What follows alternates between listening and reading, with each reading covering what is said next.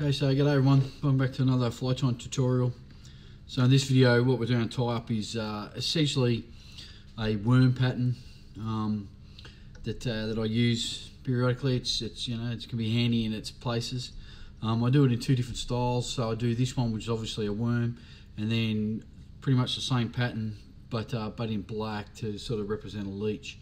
Um, there's really sort of no difference between the two other than the material um, and I'll talk you through that as we go. So it's pretty straightforward fly to tie, um, and we'll get on into it.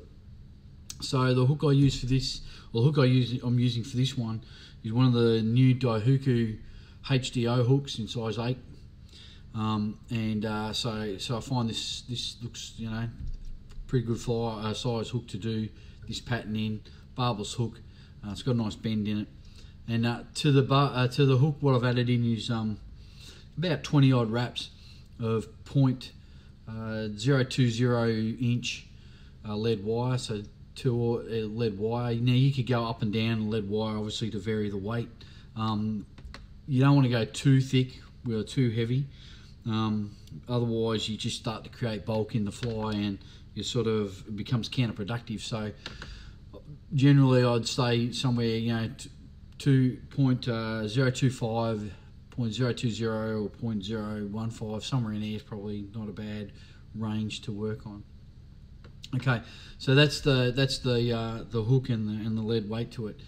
Now, for the first part, I find it a little bit easier to sort of reorientate your hook. So I'm just going to turn it over so I can access um, the back end and the bend um, a bit better. So the first thread I'm going to use is uh, Semperfli wax thread. Um, it's a pink one. It doesn't have to be Semperfli, but you just want to, you know, either a white or a pink thread um, to start with. Um, I'm going to finish the fly in this thread anyway, so that's why I use pink. But uh, but white would be perfectly satisfactory. And I'm just going to come in. I'm going to catch in behind that lead, um, and I'm going to take this thread and the tag sort of right down into the bend, and I'm just going to trim this away get rid of that waste.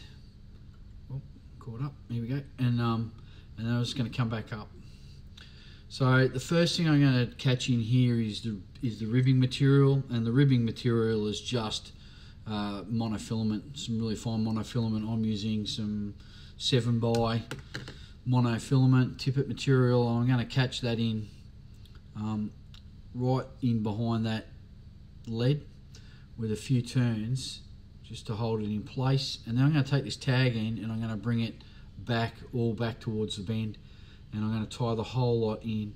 Now the reason I do this is so that um, when I go to actually use it to rib the fly, it has less of a tendency to try and want to pull out um, of the of the uh, thread because you know you sort of only got thread on the monofilament. So I'm just going to come in with my scissors and I'm going to trim away that tag in, just tidy that up and then continue on and probably come back a little bit and build up a bit of a taper back to that lead. A little bit of a dent in that lead there. Righto. So the next material and the outer casing, if you like, of the actual fly itself is uh, this stuff and it's self-fusing silicon tape.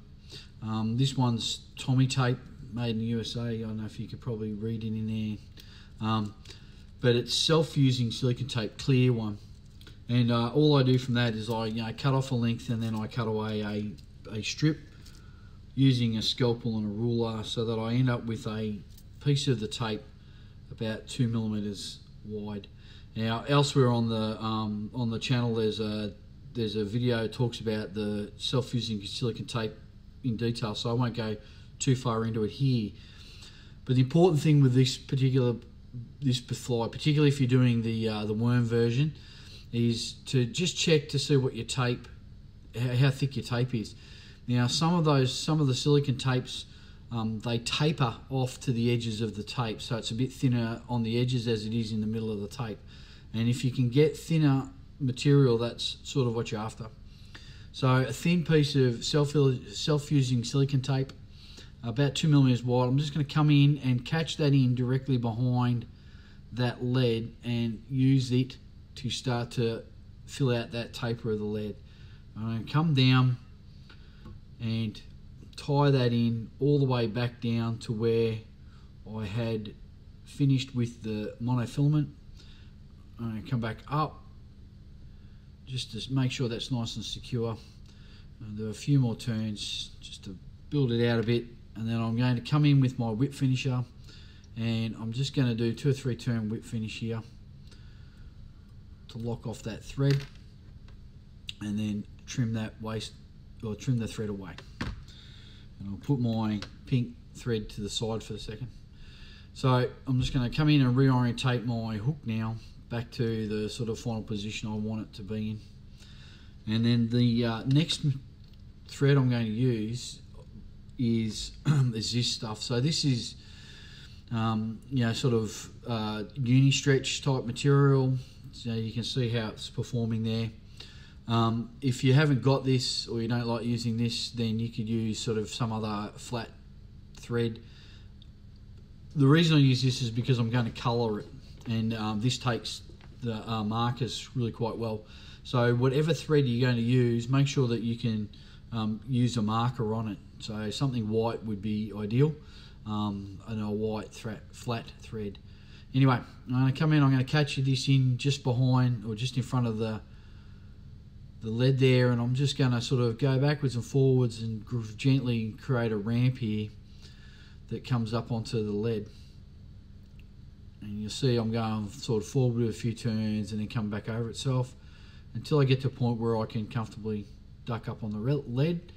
And then I'm just going to flatten that thread out and use it to go over the top of the lead. Now you don't have to be very, you know, sort of precise in the covering. Just going to trim away this waste here. Um, it, you know, because it's not a big issue if a little bit of that lead shows through. You want sufficient material on there, sufficient thread on there so that you can get the color into the fly. Um, so this is sort of more about putting a, I guess you could say almost like a canvas down really. Um, just checking that other side to make sure I'm sort of getting some good coverage there. And uh, really just putting down enough material so that when you mark it up with the markers, you get some good coverage. And you get some good colour in there. See how that's going. So I'm just going to keep bringing that down and flatten it out and sort of, might go back up here a bit. There we go. Create that effect there and I'm going to come all the way down with this to about you know about this point just behind the just behind the eye mill or so behind the eye and then I'm going to do a couple of turns of whip finish and lock that off and then trim away that thread. So that's the underbody of the fly more or less done. And so from here we're just going to mark it up. Now the markers that you use is entirely up to you and colourings. They need to be alcohol markers and permanent markers but the colours that uh, you use are completely up to you.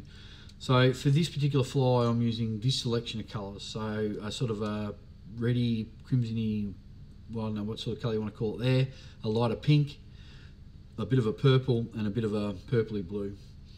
So the rule of thumb for this is to start light and go to dark. So the first colour I'm going to use is this pink and this becomes the underbody colour and I'm just going to go through and, and colour up this fly all this uh, body material and I'm going to cover it up with this pink. Now the, what you find particularly with this stretch material is that the colour sort of runs into it, which is almost exactly what you're after. Don't worry if it looks a bit too transparent, it, it'll be perfectly fine once you get finished. But you want to basically put down a good undercoat or undercover of that pink, and that forms the basis of the fly. Now, the other important part for doing that initial first colour uh, and doing the light one is with the alcohol markers, particularly like sort of these sorts of markers, they run, one, particularly in this material, it starts to run. So by having a light full cover, then what you get is the marker will start to bleed into it as you go a bit darker. So the next colour I'm using here is just a red, and I'm, I'm just sort of going through and, and putting in some darker areas, you know, largely randomly on the fly. Um, probably a little bit more towards the front and the back versus anything across the middle because I'm going to use a darker marker on there anyway. But really, I'm just tapping it and letting it bleed through and onto itself, and it creates that pinky red sort of effect. Next colour is the purple. So the purple, what I'm looking for here is is a darker band in around the bend here, and I'm just going to tap that and sort of dab this purple in so it builds up. Um, I don't want to go crazy and make it too heavy, um, and I want to sort of touch it, which allows it to bleed into itself and and then sort of create some effect. You can probably do a few little darker bands down around the place, and and so you end up with something that looks a bit like this, with some banding, and uh, and that's that. And then the last colour we're going to use is this darker sort of purpley blue, and be very centric here on the band, and really create this dark sort of patch there. So that's that's it, and that's the effect you're after. And you can play around with with the colours and and you know sort of work out how what effect want you like and what colours work for you, and and basically do you know sort of whatever sort of tickles your fancy, I guess. But um, but in the end, that's that's sort of what you're after. So you're after this pinky, ready sort of a body with a bluey band in there. Um, the band gives it a little bit of coloration change, so it can start to sort of act as a, uh, a bit of a trigger. All right, so once we've marked it up, coloured it up, um, I'm going to come back in with my pink thread and catch that in directly behind the eye and lock that thread down and then just trim away this waste. Right. Now, what you might find here is, is to come in and do a half hitch or a single turn of whip just to hold that thread so that it doesn't bounce around too much while you do the rest of the fly. So the first material coming over is, is this self-fusing silicon tape. So the important thing with self-fusing silicon tape is it does exactly that. It, it fuses to itself. So you, you really need to avoid it, avoid letting it touch itself too much. Um, and it'll fuse together in a few seconds and it'll be a real sort of pain to get apart. But anyway, what I'm going to do is I'm just going to come in and I'm going to do a turn right down in the bottom here, back in on itself, and then in a slight overlapping turns, I'm just going to wrap this fusing silicon tape all the way forward. That's all it is. And you don't want too much of an overlap, but you do need a little bit of an overlap so that the tape will fuse to itself and uh, and seal itself in basically. And so what you can see from with the clear tape is that it sort of starts to blend in the body colors and the body materials. It gives it that little bit of sort of translucency, I guess. Um, and and it goes from there. I wouldn't necessarily rush out and say it makes it look like a worm, but uh, but it gives it the impression of, and that's good enough. So you just work that forward, more or less sort of slight overlapping turns all the way to the back of the head, back of the eye. Catch that in with a couple of turns of thread, and we can sort of lock that silicon off. Now, to, now the, I suppose there's one thing to say here. You know, don't be tempted to make use, uh, you know, cut a really long strip of the silicon and try and do two or three flies out of it.